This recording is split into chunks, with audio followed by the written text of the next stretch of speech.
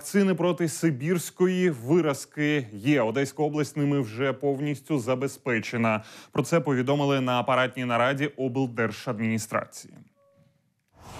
Ми забезпечені е, повністю в повному обсязі е, вакцинами для щеплення.